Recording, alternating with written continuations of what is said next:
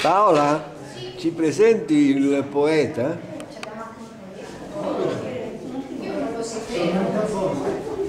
Però io non ho niente da, da presentare, solo due poesie che sono un po'... Prego, presentiamo il poeta di Senigallia, Massimo, Massimo da Senigallia. Permesso. Sono due liriche che diciamo, normalmente mi ricordo sempre perché diciamo, fanno parte del mio essere. Una è molto breve, che comunque è un pensiero che diventa anche una testimonianza per chi domani mi ha conosciuto e quindi in qualche maniera mi ricorderà. E dice così, insomma, si esprime così. Vai ad osservare come cadono le foglie, desideri ingialliti rimasti chiusi nel cassetto, non farti trovare con le mani vuote, mentre credevi di avere tutto e presto.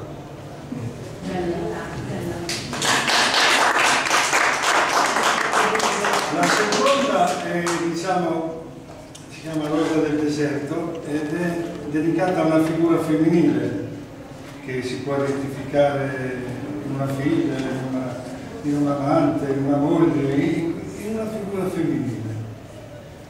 Come rosa del deserto nasci dal nulla, ma con fierezza conquisti la vita. Accarezzi la terra sfiorandola dolcemente, mentre le mani del vento si ricorrono intorno al corpo invitante. Voluttuosa si scioglie l'argine delle chiome, custode intrigante che solletica per gli altri segreti del volto e dell'anima.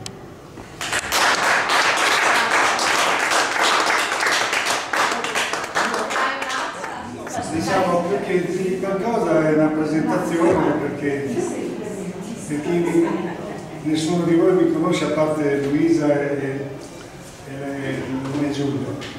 E questa passione alla poesia è nata, nata abbastanza matura perché ero già sposato.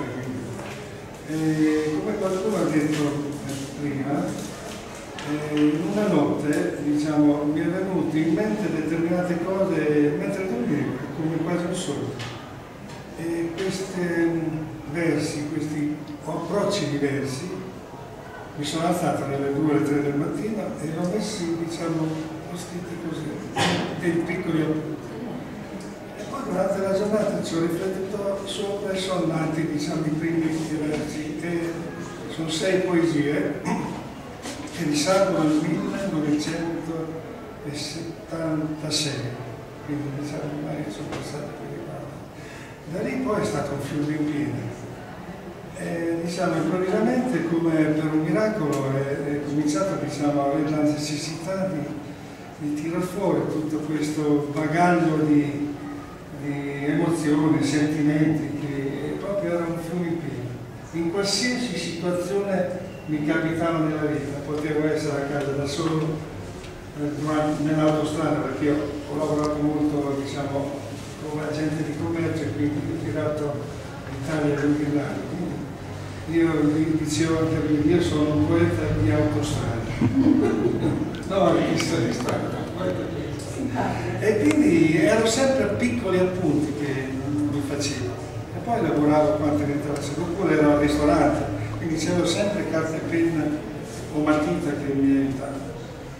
Lei per tanti anni ho, ho, messo da parte centinaia e centinaia di testi, che però erano lì, messi uno sopra l'altro. Poi una volta ho avuto l'opportunità, dico, ma chissà, forse è meglio che incomincio a, a ricatalogarli. Ma li ho catalogati non più come cronologia, ma come... Eh, come tema. Sì, io c'ho, c'ho delle, ho fatto sette libri, sette edizioni, ho concorso in varie parti d'Italia, premi, riconoscimenti, ma non è questo, è il fatto che eh, i miei libri eh, raccontano una storia legata a ogni libro c'è una sua tematica e quindi ho pescato per diciamo, cercare di raggruppare quelle che secondo me potevano andare. E ho presentato questo primo diciamo, brutta copia a una carissima amica che è una pittrice lei è rimasta sorpresa, ha detto, possibile, detto, perché nessuno mi conosceva in questa veste, è stata una sorpresa per me. Dice, guarda tu questa le devi di cominciare a fare corsi, fai dei libri, trova qualcuno.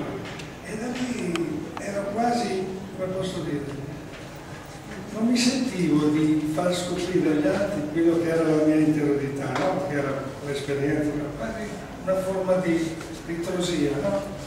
Invece dopo, dopo questo primo libro, che si chiamava Sul di farfalla, che ho presentato in vari posti, ho avuto tanti riconoscimenti da lì c'è stata la spinta definitiva. E adesso l'ultimo libro è, è datato nel 2013. Ho due libri da, da dover far nascere. Ho chiesto alla nostra amica Luisa se mi dà una mano e ancora non riusciamo a metterci Questo è, tutto. Questo è il mio percorso, diciamo, letterario. Bellissimo. Complimenti. Grazie.